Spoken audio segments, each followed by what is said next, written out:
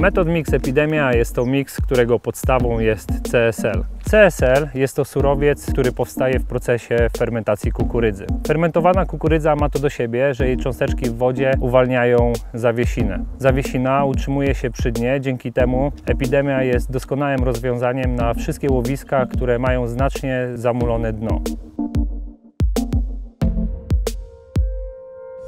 Mamy do wyboru dwa metod miksy, ciemny oraz jasny. Jasny metod mix wybieram zawsze wtedy, kiedy temperatura wody osiąga 10 stopni Celsjusza, a największa skuteczność tej mieszanki przypada na okres letni. Ciemną mieszankę wybieram zawsze wtedy, kiedy temperatura wody jest poniżej 10 stopni, czyli w okresie zimy, późnej jesieni lub wczesnej wiosny. Aby prawidłowo przygotować metod Mix Epidemia należy odmierzyć cztery części zanęty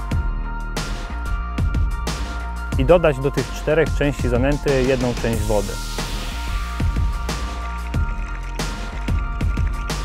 Następnie zanętę należy dokładnie wymieszać, tak aby równomiernie rozprowadzić wodę i odstawić na 15 minut.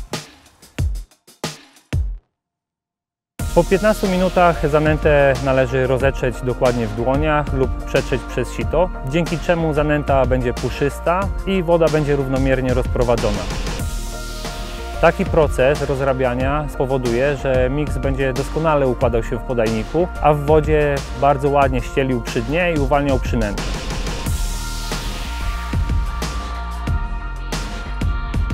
Wszystkie metod mixy feeder bait mają technologię mocnego klejenia do podajnika i szybkiej pracy w wodzie. Dzięki temu podczas zarzucania i uderzenia podajnika o wodę mamy pewność, że mieszanka dociera do dna i we właściwym miejscu wabi ryby i uwalnia naszą przynętę.